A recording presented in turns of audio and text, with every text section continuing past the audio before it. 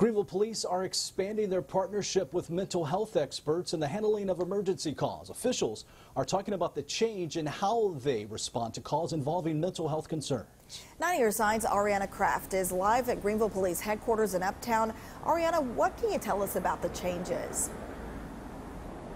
Mobile crisis services have been around in Pitt County for 12 years, but Police Chief Mark Holtzman believes his department can do a better job of using available resources and getting information to people.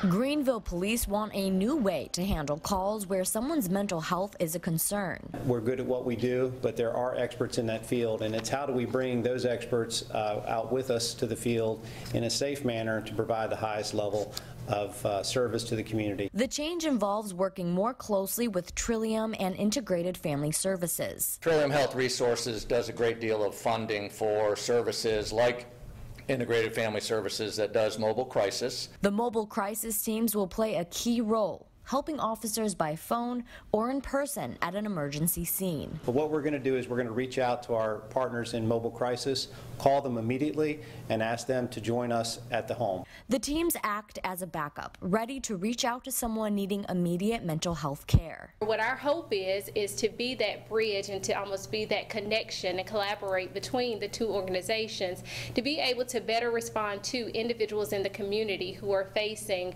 uh, behavioral health crisis situations situations. Mobile crisis staff are beginning to respond now to the scene with officers at the request of law enforcement and to provide the highest level of care to individuals suffering from mental illness, the Pitt County Sheriff's Office will also begin working with the mobile crisis teams in the coming weeks. Officials say this could also help in schools. Bringing mobile crisis in with our school resource officers is something that uh, the sheriff has been uh, very integral in doing and something we see growing in, in the future.